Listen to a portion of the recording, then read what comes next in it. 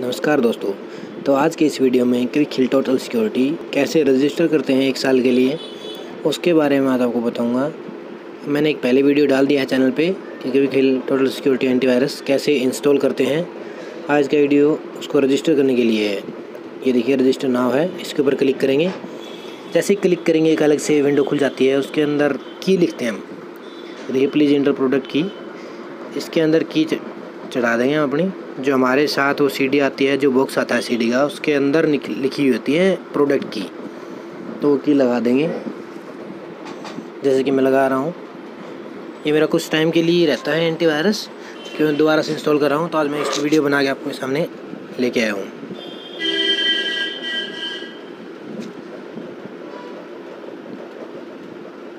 Properly की लगा देंगे इसकी, जो भी आपके सामने है।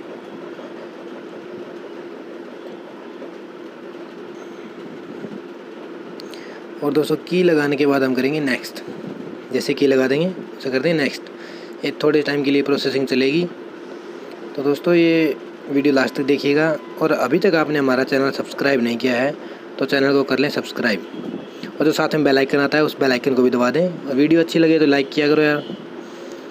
और शेयर भी किया करो अपने दोस्तों में।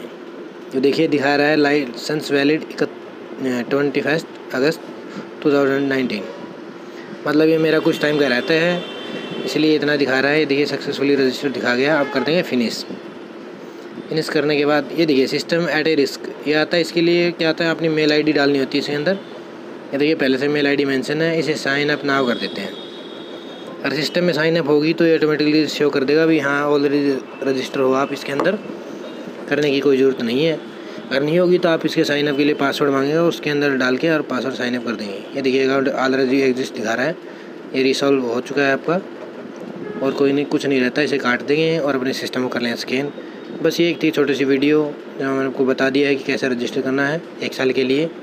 तो फिर मिलेंगे एक नेक्स्ट वीडियो में। वीडियो देखने धन्यवाद दोस्तों।